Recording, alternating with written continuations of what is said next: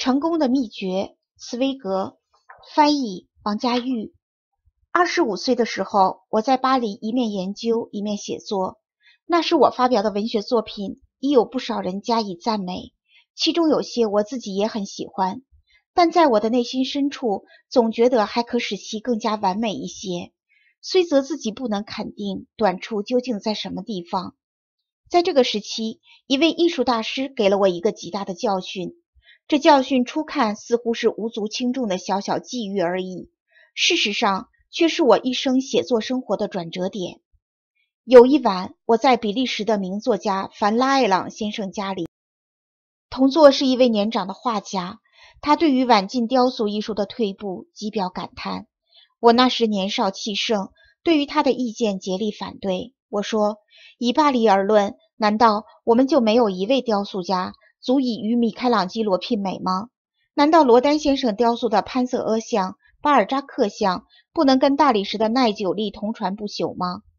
我的驳辩说完之后，凡拉艾朗欣然地拍拍我的肩头。我明天要去拜访罗丹先生，他说：“跟我同去。像你这样的钦佩他，就有权利跟他会会面。”我满心的高兴。但第二天，凡拉艾朗把我介绍给那位雕刻大师之后，我一个字也说不出来。他们两位老朋友谈天说地，我觉得自己好像是一个不必要的旁听者。然而，那位大艺术家是十分和善的。当我们告别的时候，罗丹转过脸来对我说道：“我想你或许要看看我的雕刻作品，可惜都不在这里。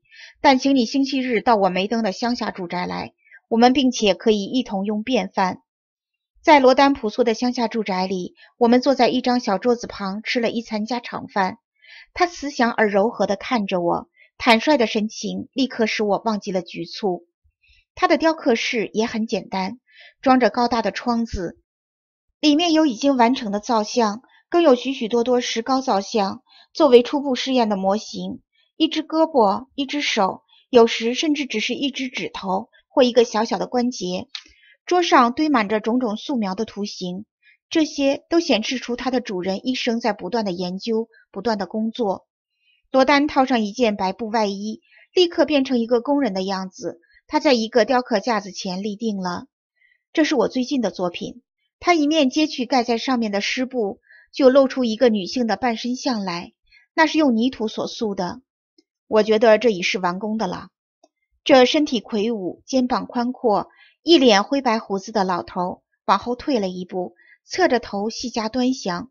是的，我想没有什么毛病了。但审视了一会儿之后，忽又喃喃自语道：“只有那肩膀上面线条仍旧嫌太硬。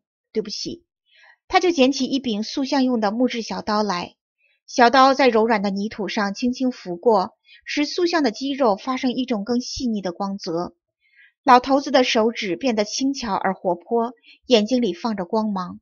还有这里，这里，他又修改了别的几处地方，再退后一步，细细观察，然后又把架子转过来，喉咙里喃喃地发出奇怪的声音。有时他欣然微笑，有时他眉头紧皱，有时捏了一点泥加到象身上去，又轻轻抓掉一些。如此继续了半小时、一小时。他从没有对我说一句话，除了创造他理想中的塑像之外，他什么都忘记了。似乎天地间只有这工作的存在，好像上帝着手创造世界的第一天那样。后来，他大功告成似的松了一口气，丢下小刀，把刚才的那块湿布给塑像盖上。那种小心翼翼的神情，宛如一个男人给他情侣披上披肩，然后转背向外。仍旧恢复了初见时那魁梧的老人，还没有走到门口，忽然发现了我，他一惊。直到这个时候，他才想起了我。刚才的失礼显然使他非常过意不去。哦，对不起，先生，我简直把你忘记了。但是，我十分感激的紧紧握住了他的手。或许他也感觉到了我的情绪，所以微微笑着，举起膀子围住了我的肩头。两个人一同走出那房间去。这一天的收获比我在学校里多年的用功还有益处。从此以后，我知道一切人类的工作如欲完善而有价值，应当是如何做法的。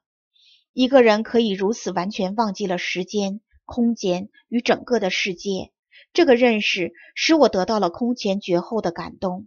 这一小时使我把握住了一切艺术、一切事业成功的奥秘，聚精会神，集中着所有的力量，以完成不论大小的一件工作，把我们容易分散、容易旁骛的意志灌注在小小的一点。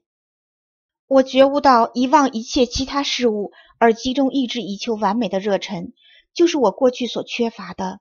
除了工作，好像自己都不存在，这是成功的秘诀。我现在知道，舍死以外别无神妙的方法了。